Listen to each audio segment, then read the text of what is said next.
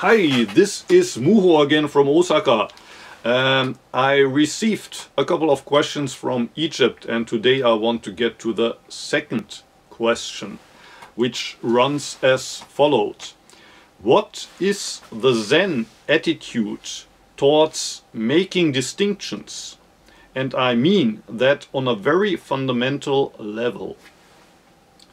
Because often we say Zen is not dualism, it's about making no distinctions. So how does Zen deal with making distinctions? For example, it seems in Zen there's a lot of talk about how life is eventually meaningless and is all nothing.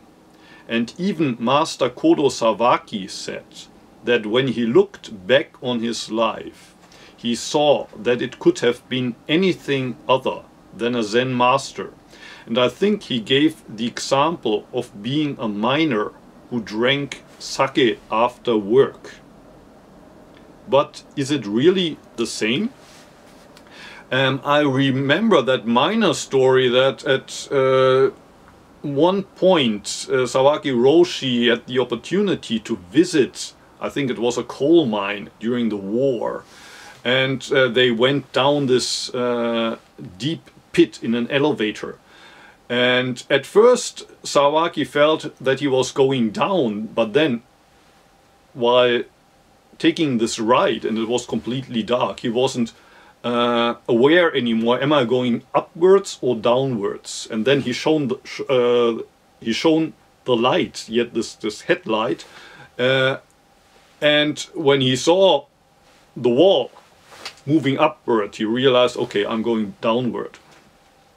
And uh, that's the only story connected to Sawaki Roshi um, that would somehow connect him to, to a mine. I don't remember him saying that he could have become a miner. And what he wanted to say uh, with this story is that uh, often in, in life we say, oh, it's going in a good way or in a bad way uh, things are coming my way or uh, life is a drag. Uh, it's basically that we are making this kind of almost uh, well deliberate comparison with something that's that's really not real and when we stop making this comparison all of this oh it's going a good way it's going a bad way it's basically meaningless it's our life most of the time is like you're taking a ride in an elevator and actually there's no way to tell if you're going up or going down. Maybe the elevator isn't moving at all, who knows. Um, but what Sawaki Roshi actually did say is that if he hadn't encountered Zen, but just followed his karma, so to speak, then he would probably have ended up like uh, his relatives who were kind of gamblers or uh, his foster mother was an ex-prostitute. And he said well I might have become a yakuza. But uh, he never said that that would have been the same. So I don't remember uh, Sawaki being a kind of nihilist who says well it doesn't really matter if I became a Zen master or a yakuza it would have been the same I don't think he said that. Um, whatever. Uh, is it really the same? Of course it's not the same. Dogen Zenji also said to put high things in high places and low things in low places.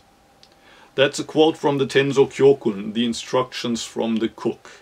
So put things that belong on a high shelf, on a high shelf, and things that are better in a low shelf place them there. And it continues that things in a high shelf are level on the high shelf. Things on the low shelf are level on the low shelf. So equality doesn't mean that everything is on the same level.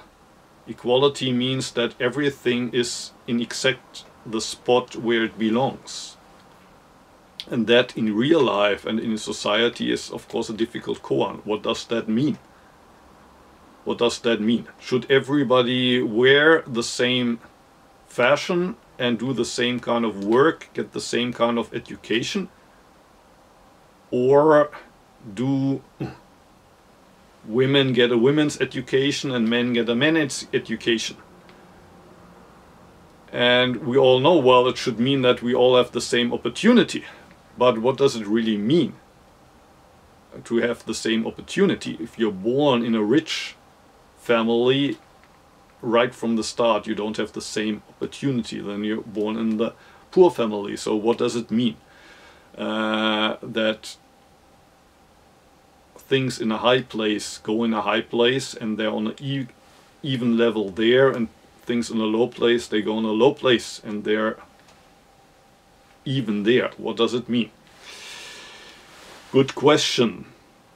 And Dogen also said in the Fukan Zazengi, is Fukan Zazengi, that if there is a slight distinction made, the mind becomes lost in confusion and the gap between heaven and earth only gets bigger. He says something like that in the beginning of the Fukan Zazengi. Um, you can find the text, for example, on the homepage of Antaiji. He also says that uh, when you sit, you let go of good and bad. You let go of all distinctions when you do Zazen. But then when you're in the kitchen, uh, another quote from the Tenzo Kyokun is uh, when you're cooking in the kitchen, you should take care that you don't lose one eye or both eyes. And what does that mean? When the Tenzo takes care to not lose one eye, that means that uh, he's not losing that view, that standpoint, the absolute standpoint, the so-called absolute standpoint. From there and from that standpoint there are no distinctions. It's not about delicious against not delicious. Um, there are no distinctions from the absolute perspective. All is one. There's only this one moment, this one activity, the activity of the universe manifesting right now when the cook is cooking in the kitchen. There's not me sacrificing myself for the others. Uh, there's no good quality food against bad quality foods. But then Dogen Zenji also says don't lose both eyes. That means don't lose your ability to make distinctions. In summer, try to uh, serve cold food that's refreshing to the monks. In winter, it should be as hot as possible so that they can stay warm.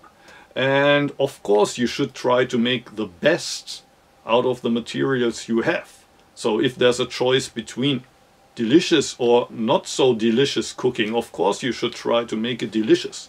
So don't use non-distinction as an excuse uh, to not care about what you do. So in Zen it's often said that, uh, well, form is emptiness, emptiness is form. In the realm of emptiness there are no distinctions, in the realm of form there are distinctions a triangle is not the same as a square and the square is not the same as a circle and if you can't tell the difference you're a fool. But if you make preferences for example I want to get out of samsara I want to reach nirvana you're already in samsara. So in zen you need both. And I don't know about any logical, really satisfying explanation of how these both these two truths, the absolute truth of no distinction and the relative truth that there is distinction, how they really, how do you say, fit together in a perfect way. But all of the Zen masters, including uh, Dogen Zenji, Kodo Sawaki Uchiyama, will tell you you need both. You will need both. You need to be able to make distinctions, but you don't or you must not be attached to distinctions. You also have to realize that all is one, but inside oneness In Japanese, there's this uh, exp uh, expression that Uchiyama uses, kuso, miso. Kuso means, well, miso, miso is the soup or the paste from which you make miso soup, and kuso means shit. And they kind of look, look similar, kind of brown substance. Uh, but uh, if you're the cook, even everything is one, and the miso you eat will eventually become kuso when you're cooking, you should know the difference. But uh, the question continues a little bit.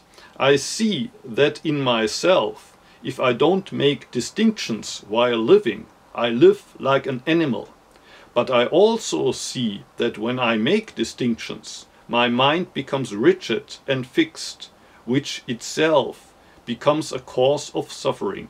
How should we make distinctions if it is all really nothing in the end? Good question. That's a big koan. Uh, actually, when you do koan practice, um, at the end of the practice, there's these five goi, how do you say, five levels, so to speak, how the absolute and the relative interact with each other. Mm. But uh, the only thing I can tell you right now is you need both. The ability to make distinctions and freedom, freedom from distinctions. Both are essential. Thank you and I'll get to the third question next week. See you.